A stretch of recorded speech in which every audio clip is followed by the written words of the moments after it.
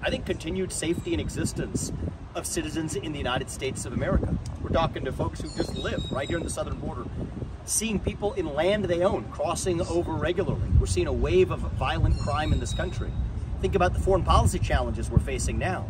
I'm worried about the special interest aliens, the 70,000 some odd special interest aliens who came here over the last year.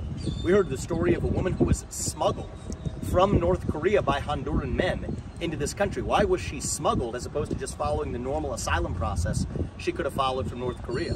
So I worry there are real dangers, not just with people coming here for a better life, but also people who came here with bad intentions. We have no idea how many there are, but there could be hundreds, possibly thousands. That'll end on my watch, and then we have to make sure that the people who are here are tracked down, and the people with those kinds of intentions who are here illegally, all of them sent back to their countries of origin. You mentioned the special